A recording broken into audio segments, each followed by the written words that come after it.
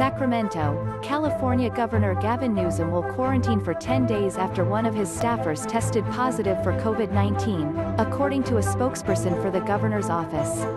The staffer tested positive Sunday afternoon, the spokesperson stated. Newsom was then tested and his result came back negative. The staffer also had contact with other staff members, who were also tested. Their results came back negative. Newsom's 10-day quarantine is out of an abundance of caution, the statement said. The governor and other staffers were expected to be tested again in the next few days.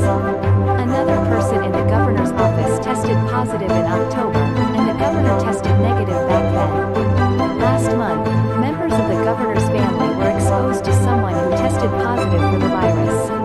Newsom, his wife and four children tested negative Icon.